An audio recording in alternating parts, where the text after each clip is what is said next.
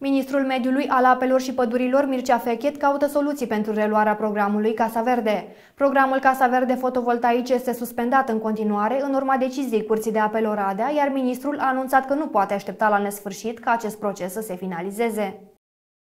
Programul Casa Verde Fotovoltaice 2023 este în continuare suspendat. Ministrul Mediului Mircea Fechet a anunțat că în această perioadă caută soluții și propuneri pentru că această situație trebuie să ia sfârșit. Acesta a spus că o soluție extremă este lansarea unui nou apel pentru că nu se mai poate aștepta finalizarea acestui proces. Cu fiecare zi în care românii nu au panouri solare pe casă, facturile acestora sunt mai mari decât ar trebui, iar dacă va fi nevoie, ministrul va propune ca ultimă soluție să lanseze un nou program fără a pune oamenii pe drumuri.